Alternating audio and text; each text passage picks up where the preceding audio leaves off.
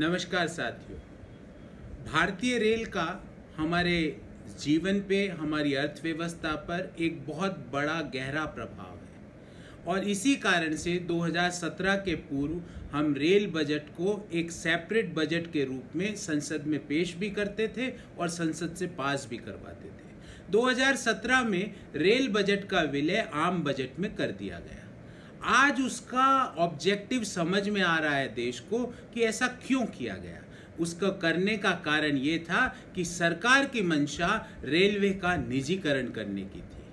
आज उसी संदर्भ में मैं अपने तीन पॉइंट सरकार से पूछना चाहता हूँ, अपने तीन सवालों का उत्तर जानना चाहता हूँ। मेरा पहला सवाल है कि ऑपरेटिंग रेशियो ऑपरेटिंग रेशियो का अर्थ है कि सौ रुपए के इनकम पर रेलवे का खर्चा कितना है। जो 2013-14 पे 87.8 था, वो आज बढ़ के 120 क्यों हो गया?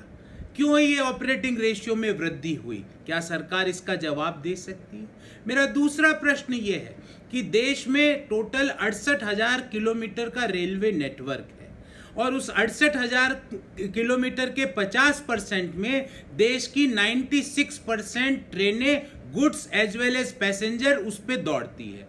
और उसी नेटवर्क पर ये एक निजी ट्रेनें भी दौड़ेगी। तो उससे होगा क्या कि जो निजी ट्रेनें हैं, उनको प्रायोरिटी दी जाएगी और जो भारतीय रेलवे की ट्रेनें हैं, जिसमें आप, हम और हम जैसे करोड़ों लोग सफ़र करेंगे, वो स्टेशनों पे खड़ी हुई आपको मिलेगी।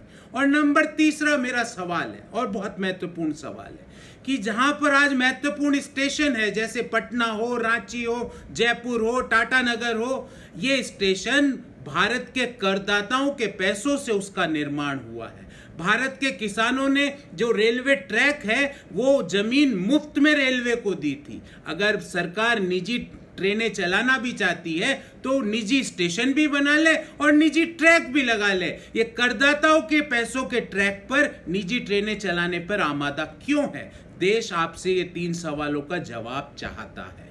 बहुत बहुत धन्यवाद।